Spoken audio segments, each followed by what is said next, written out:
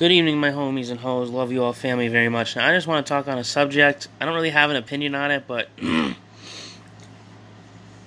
I know enough in the world. I don't particularly hate or like any particular president. I mean, there are some things that they do I like, really. And everybody says uh, Trump is maybe he is a bad president, but he's not a bad leader. He's worked in companies, whether he's bankrupt or not. He tries to be a strong leader and stand for the laws of our country. I'm not. I don't know. I don't really hate or like them. Maybe a little. I like them. Maybe I hate them a little too. Or Like, same with Obama. Obama's a good pre. He was a good president. I mean, who the fuck else would have been able to take point pit Osama bin Laden and put his ass to sleep? Obama did that, so he's just as good or better than Trump. They're all good presidents. Yeah, they have flaws, but everybody has flaws. You should understand.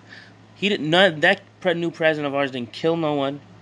Didn't didn't rape, didn't fucking didn't didn't didn't didn't have them locked up or killed for reasons that you know, and uh, everybody says, oh well.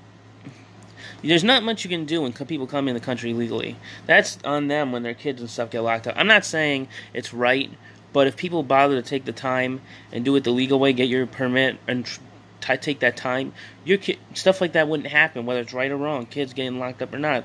But he's not a bad. He's a good leader and a decent um, I guess, president. He's a good leader and a decent. I don't hate Trump. I don't really like him a lot.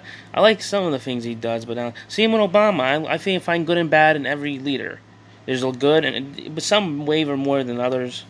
That's all. Shouldn't judge people like they're killers or or they're going to ruin our country just because there's certain rights people always have, and the government can't fuck around and take it away. Even if it's not your right, I'd happily do it anyways. Someone robs me, put a cap in their head, and Trump, Obama can't change that. None of these people can change the fact that we have the right to speech, to defend ourselves, speech, and to make a happy life for ourselves. That's my opinion. Love y'all. Subscribe.